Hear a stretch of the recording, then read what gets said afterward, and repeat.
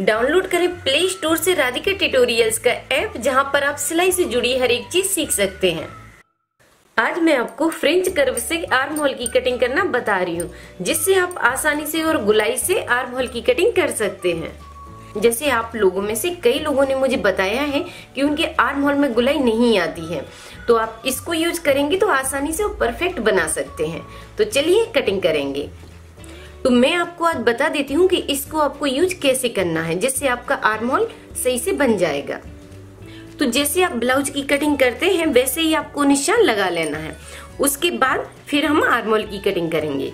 तो यहाँ पे पहले लगाना है आपको शोल्डर का निशान।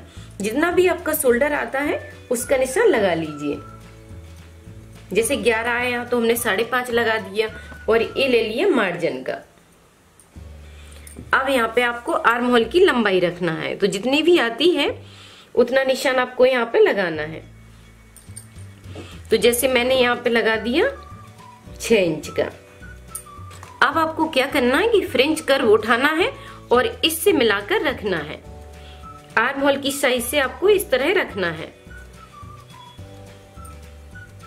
इसमें भी आपको थोड़ा ध्यान रखना है कि आप पहले आगे की गुलाई दे रहे हैं या पीछे की गुलाई? क्योंकि पीछे की जो गुलाई होती है, वो कम होती है और आगे की जो गहराई होती है, वो थोड़ी ज़्यादा होती है। तो उसी के हिसाब से आपको इसको रखना है।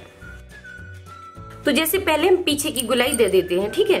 तो इसमें आपको ध्यान देना है कि ये जो पॉइंट है एक कम गहराई के लिए है।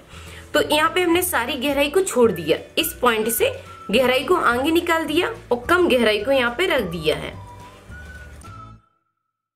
जब आपको कम गहराई देना है, तब इस पॉइंट को ध्यान रखना है।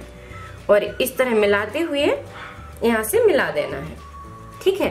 अब आपको ज़्यादा गहराई देना है आगे की साइड तो आपको क्या करना है? थोड़ा सा इस तरह खिसकाना है इसको। अब यहाँ पे ज़्यादा गहराई देंगे। तो ये हो जाती है आगे की गहराई। बस इतना ही आपको इसमें याद रखना है कि इसके जो पॉइंट होते हैं, बस उसी से आपको ध्यान रखना है। तो इस तरह आपको गहराई देना है, पीछे की, फिर आगे की। तो अब मैं आपको नाप के बता देती हूँ कि इसका फ़र्क कितना रहता है।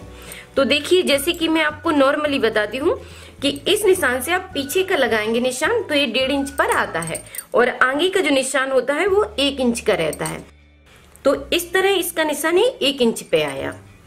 और जैसे कि मैं आपको हर वीडियो में बताती हूँ कि पहला निशान आपको आगे के पार्ट में एक इंच से लगाना है और दूसरे पार्ट में आपको डेढ़ इंच पर लगाना है। तो इस तरह आप आसानी से निशान लगा सकते हैं। तो जैसे कि मैंने आपको नाप कर दिखाया है कि पीछे का निशान डेढ़ इंच पर आया और आगे का निशान एक इंच पर आया। तो ऐसे ही आप इंची टेप से भी नाप कर लगा सकते हैं, क्योंकि हर किसी के पास फ्रेंच कर्व नहीं होता है। इसीलिए मैं आपको हर वीडियो में इंची टेप से ही नापना बताती हूँ। बस आपको थोड़ी सी गुलाई देना है और आप आसानी से लगा सकते हैं। अब मैं आपको गले में भी गुलाई देना बता देती हूँ।